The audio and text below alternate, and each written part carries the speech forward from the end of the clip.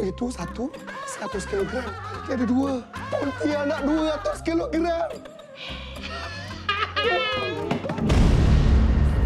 Kemboja datang ni nak tolong abang perangkap Pontianak. So sweet. Korang tak nak lari ke?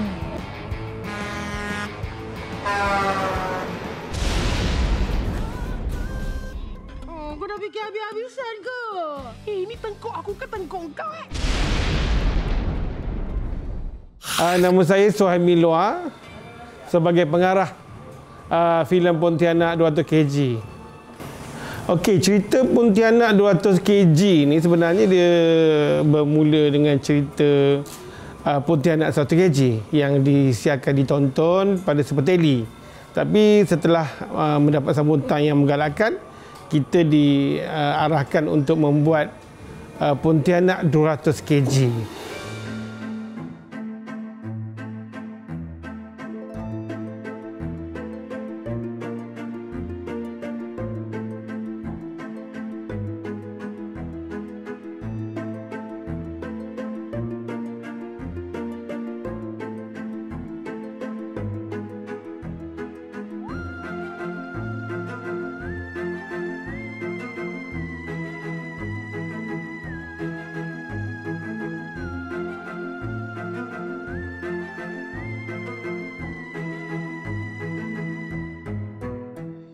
Nama saya Ayah Amiruddin. Saya melakonkan watak Melati dalam Pontianak 200 kg. Basically kalau tengok Melati dalam cerita Pontianak 200 kg ni dia adalah seorang yang baik hati. Cantik, bijak, uh, kuat makan.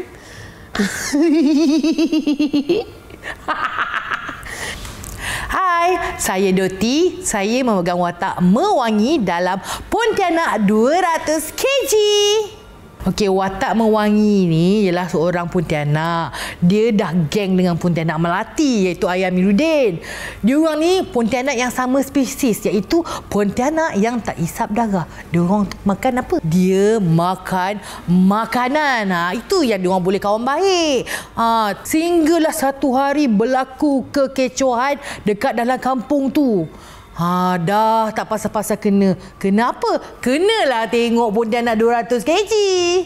Hai, Assalamualaikum. Saya Wans Ahmad, memegang watak Malik dalam Pontianak 200 kg. Karakter Malik um, sebenarnya satu karakter yang dah wujud dari Super Pontianak 100 kg dibawa ke filem Pontianak 200 kg.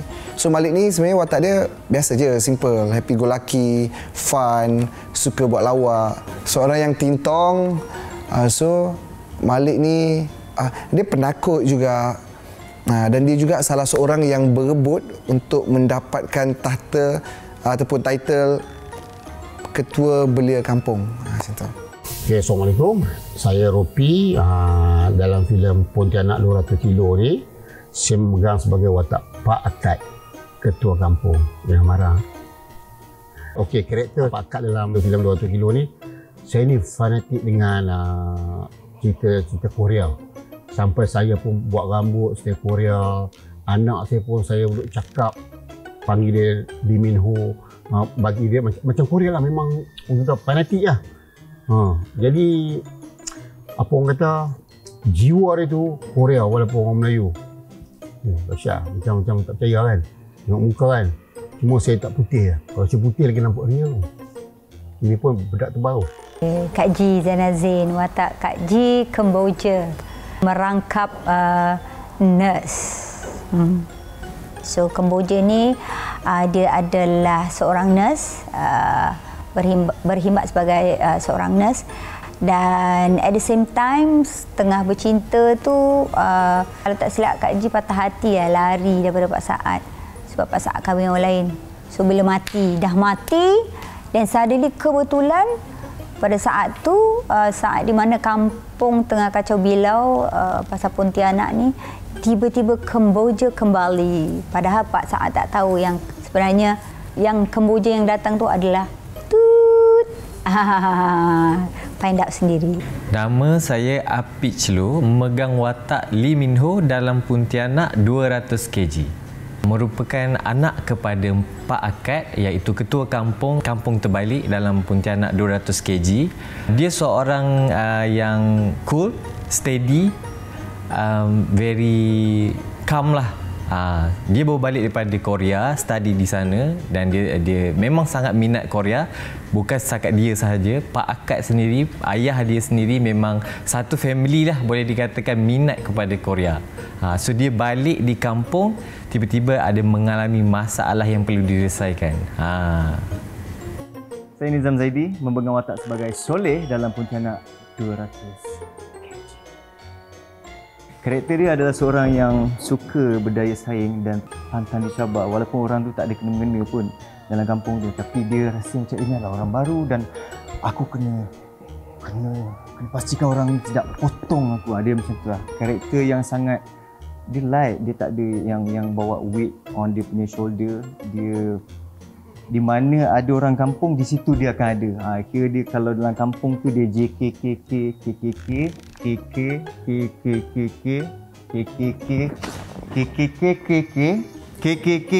kampung. Dia paling penting sekali. Okay, hai Assalamualaikum. Okay, saya perkenalkan diri saya. Uh, nama saya adalah Hairul Aziz.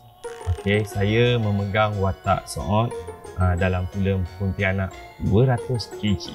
Uh, Uh, okay, uh, karakter Soot dalam cerita Pontianak ni uh, semua sedia maklum. Okay, mungkin satu Malaysia pun dah tahu. Soot ni watak dia watak yang tak apa dengar lah. Ataupun uh, perkataan yang lebih tepat adalah pekak lah. Okay, orang cakap lain, uh, dia jawab lain. Uh, itulah watak Soot. Nama saya Mali Baby dan saya memainkan watak Melur dalam cerita Pontianak 200 kg. Melur ni adalah seorang wanita yang rider kampung yang bercakap seperti Inir 24 jam. Saya tak tahu masalah dia tapi dia nak pergi belajar dekat British. So this is the British lah. So dia cakap macam ni. And dia minat dekat anak Pak Akad iaitu Lee Min Ho. Dan dia adalah satu-satunya wanita yang dibenci oleh pontianak-pontianak tersebut. Saya tak tahu kenapa. Sebab saya tak buat apa-apa pun kat orang. 200 kg ni sebenarnya bila 200 kg ni maknanya dah ada pontianak yang beratnya 200 kg. Jadi pontianak ini telah berhijrah ke kampung lain mencari makan di tempat lain yang menjadi kehairanannya apabila penduduk kampung terbalik ni uh, yang diketuai oleh Pak Akad telah keheranan kenapa pontianak ni makan yang makanan bukannya darah. Ha, itu sebenarnya. Tapi yang uh, mengejutkan apabila Malik ini merupakan jiran sekampung, jiran kampung yang lepas masuk kampung baru dan banyak Malik ini menceritakan keadaan sebenar lah. Kau je dah 100 kg.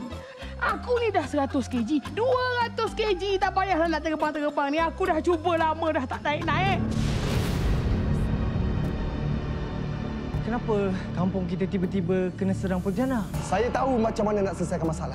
Ini kalau jaring saiz S ni, Maya Karim bolehlah terangkat. A- Aku lambat lagi.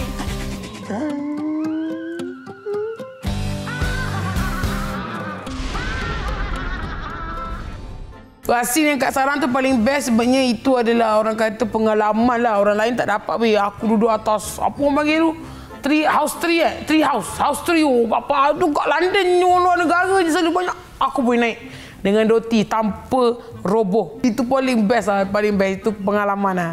Malam weh. Takut weh. Bukan gaya Aku takut. Ada empat orang lagi kat belakang. takut. Naik apa benda tu? Ah, staging benda lah. Scary siut. Ini bukan podcast ya. Ini jadi podcast. ya tu. Scene yang paling uh, personally yang saya suka dalam Pontianak 200 kg ni adalah scene yang saya dan ayah Pontianak Melati dan Pontianak Mewangi kena bergayut dekat dahan pokok mengintai orang.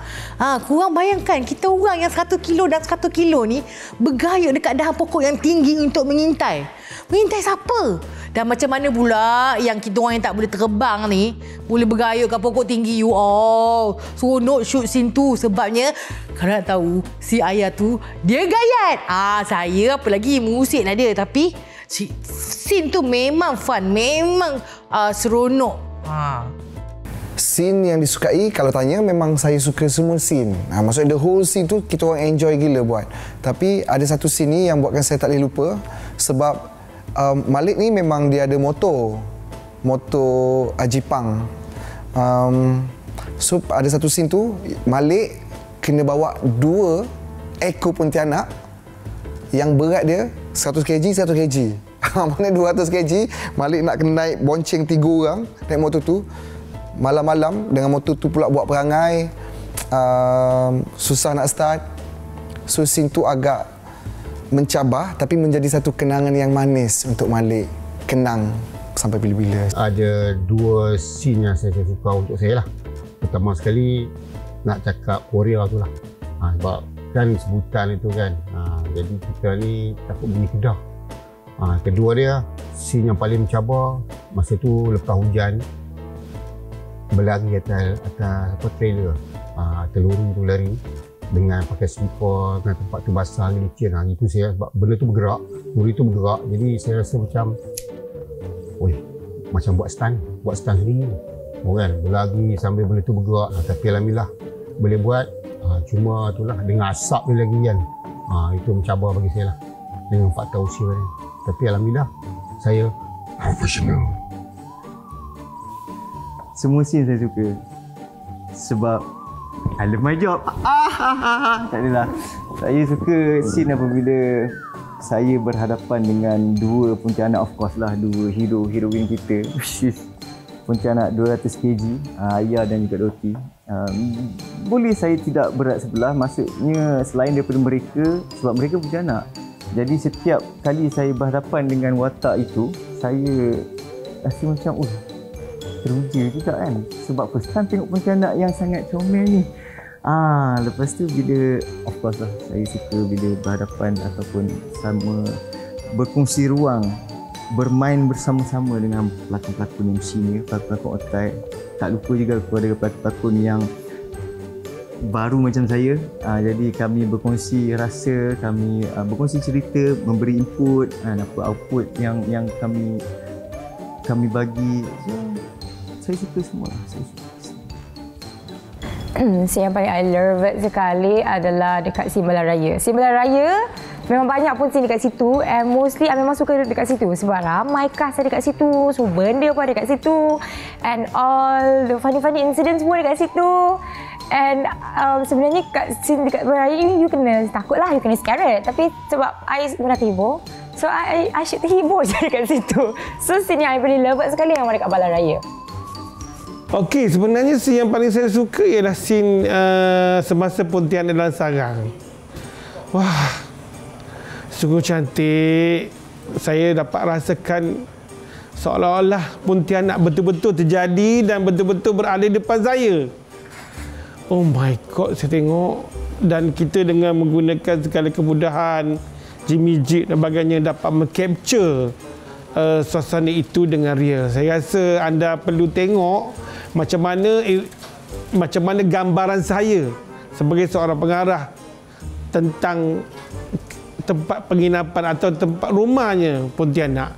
Scene yang paling saya suka adalah waktu saya makan bersama Pak Akad iaitu ayah saya sendiri di meja makan dalam rumah sebab kenapa dia memerlukan apa orang panggil setup meja kat bawah makanan-makanan Korea dan masa tu saya dengan ayah saya bercerita tentang uh, kisah silam ayah saya. Uh, so memang saya rasa bonding tu memang ada sambil makan menggunakan chopstick. So rasa feeling-feeling Korea tu memang ada lah. Memang seronok lah saya rasa. Salah satunya uh, bersama uh, dengan watak uh, apa ni Soleh. Eh bukan uh, dengan Malik, Malik. Ah, masa tu ah, Malik ah, bagi tahu dengan saya ah, jangan pergi dengan Soleh. Ah, tapi soal korang pun tak tahu kan. Saya pun dengan confident, confident memang level tinggi, saya pun bagi tahu dengan dia. Sebenarnya padahal dia cakap jangan pergi tahu. Ah, itulah ah, orang kata part yang saya cakap memang kalau tengok, wih, dia ni memang pakak betul kan.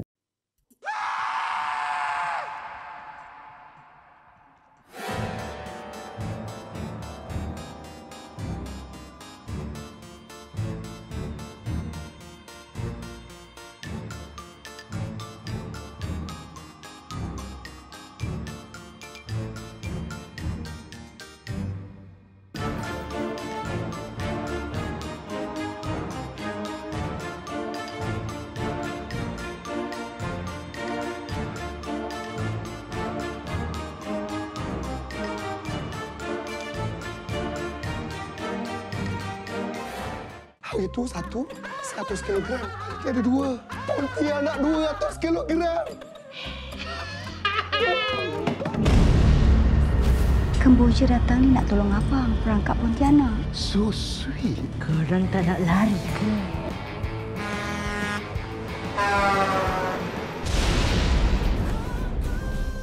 Oh, kau dah fikir habis-habisan ke? Eh, ini tengkok aku ke tengkok kau eh? Dia tak banyak nak bersedia sangat sebab saya lakon kat watak saya sendiri. saya tak tahu sejak kali saya saya berlakon memang saya wa- lakon kat watak saya sendiri. Jadinya cuma uh, untuk 200 kg ni saya kena prepare untuk menjadi lebih baik lah sebabnya yang 200 kg ni banyak sikit dialog. Ha, yang first itu tu makan, melantak, melantak, melantak.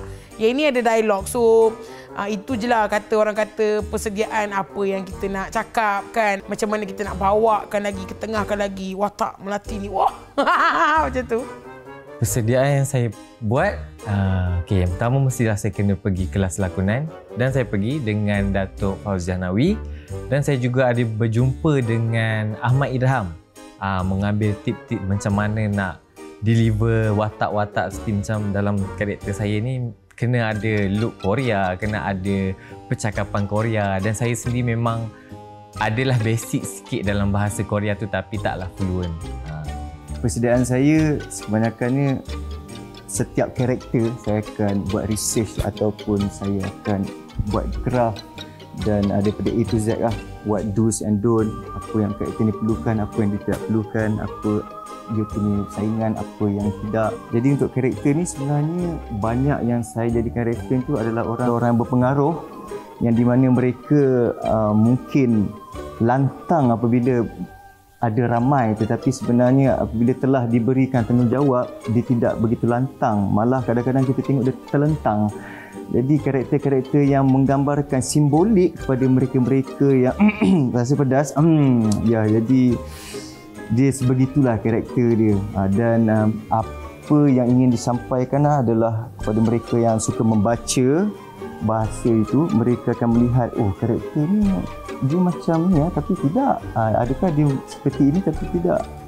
Dia very light lah for macam popcorn movie tapi memang very enjoy lah Sebab Melun ni dia cakap er-er macam ni 24 jam.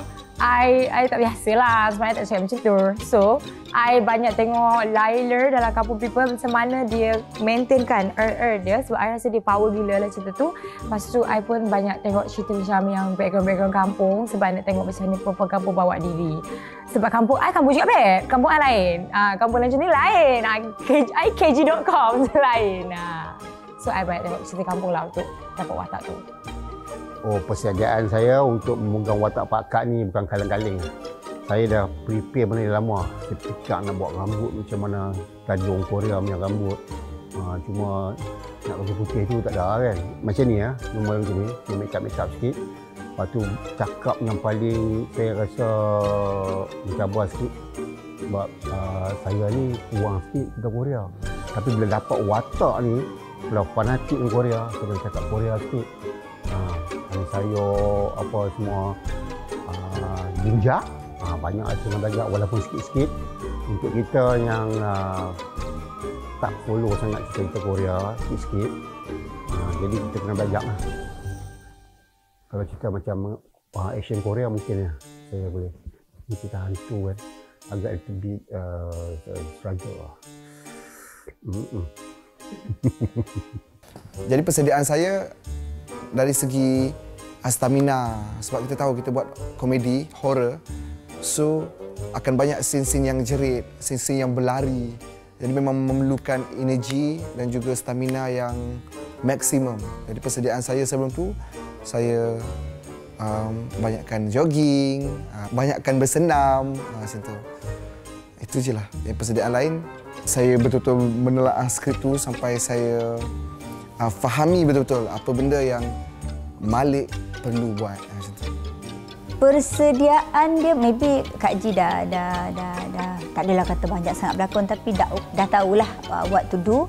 Cuma Kemboja tu nak jadi nurse tu uh, Kak Ji adalah sikit-sikit uh, buat apa research sikit-sikit Kemboja watak uh, watak uh, sebagai nurse tu macam mana kena relax you know kena cara nak ni ambil darah, cara nak dengan pesakit tu macam mana. Dan kebetulan Kak Ji pula mak saudara memang nurse. So dah ada dalam kepala lah nak buat macam mana. Ha. Okey, cabaran dia yang pertama kali ialah cabaran dia ialah cuaca lah. Hujan, kadang-kadang siang, kadang-kadang malam. Kadang-kadang daripada pagi sampai ke malam, itulah gangguan dia, itulah cabaran yang paling utama dalam set ni. Cabaran dekat set dia hujan. dia cuaca sebenarnya. Sebab time tu lama gila. Banyak kali kita sebenarnya kena cancel sebab hujan. And then um, scene yang patutnya dah boleh jalan awal. Tapi sebab hujan kena ditangguhkan. Jadi balik pun dah sampai pukul 6-7 pagi. But Alhamdulillah lah. ah, Orang kata dugaan tu nanti balasannya dapatnya nanti mesti lagi baik. Ah, mana tahu filem ni meletup. Ah, aku dah lupa dah pukul 7 pagi aku balik tu. Ah, itulah cabaran dia untuk melakonkan watak uh, melati ni uh, actually sebab nak maintain yang baik hati tu. aku ni aku ni jahat no. tak ada lah cuma apa beza melati dengan ayah melati um, dia macam ah, lembut-lembut macam kalau macam dalam banyak macam cerita ni Doti yang akan macam wih kenapa ni ni ni ni? Kenapa dia akan pergi dulu? Ah, macam ah, Melati ni macam wih tak apalah dah lah. Ah, gitu. Tapi sebenarnya aku di real life buat datang sini. Apa gaduh ha so itu je lah dia punya um, orang kata bukanlah cabaran dia macam kontra. Lah Cabaran untuk uh, sepanjang penggambaran Pontianak 200 kg ni adalah bagi saya sewaktu kita bersiap untuk kelihatan sebagai Pontianak memang banyak proses dia macam kita kena make up yang lama dan memasang gigi dan kuku. Dan selepas itu lepas kita dah jadi Pontianak tu kita nak kena berlakon dengan kain yang panjang dengan rambut yang panjang dan semua benda yang kita pakai tu kita kena berlakon. Nak kena berdialog dengan gigi siung. Ha, itu memang cabaran yang terbesar yang saya hadapi lah. Dah bila berlapis-lapis baju lepas tu kau pula nak terkucil kau fikir tak macam mana nak kuku panjang? Ha gitu. Itu cabaran yang paling utama sekali dalam hidup saya. Saya memang terganggu. Cabaran melakukan watak berlur ni sebab dia cakap macam ni every day. Tapi dia tak gedik. Dia tak gedik, dia tak bimbo. Dia adalah wanita biasa yang cakap macam ni. Kau rasa ada kau yang cakap macam tu kalau dia tak bimbo? So, susah lah, babe. Uh, so, I rasa tu yang paling susah. The fact that I nak kena cakap macam ni tapi kena jadi normal. Tak boleh gedik-gedik. Dia tak biasa gedik. Susah tau. Besar hati saya supaya cerita ini semua anda perlu tonton. Perlu datang ke Pawagam yang berhampiran untuk menyaksikan Pontianak 200 kg ini kerana cerita ini akan menghiburkan anda semua. Menghiburkan anda semua sekeluarga, datanglah ramai-ramai, berilah sokongan kepada karya tempatan ini. Itu harapan saya. Tanpa sokongan anda, tidak adalah karya-karya di Malaysia ni. Kau je dah 100 kg. Aku ni dah 100 kg. 200 kg tak payahlah nak terbang-terbang ni. Aku dah cuba lama dah tak naik-naik. Kenapa kampung kita tiba-tiba kena serang Pontianak? Saya tahu macam mana nak selesaikan masalah. Ini kalau jaring saiz S ni, Maya Karim boleh lah terangkat. A- Aku lambat lagi.